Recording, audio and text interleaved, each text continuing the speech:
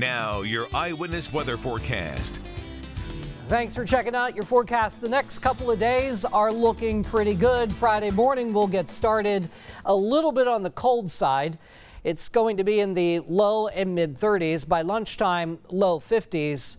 Highs on Friday will be anywhere between about 55 and 60. Lots of sun. The wind not nearly as gusty. Nice Friday afternoon, nice weather for high school football or whatever your Friday evening plans are. 7 o'clock, it will be around 50 by 9, 10 o'clock. Temperatures will fall back into the mid 40s. Your eyewitness weather forecast will be in the 50s Friday afternoon, low 60s Saturday and Sunday. Halloween, the clouds come back along with a chance of a few rain showers. Make sure you have the Eyewitness Weather app on your phone so you can get updates on your Halloween forecast whenever you want.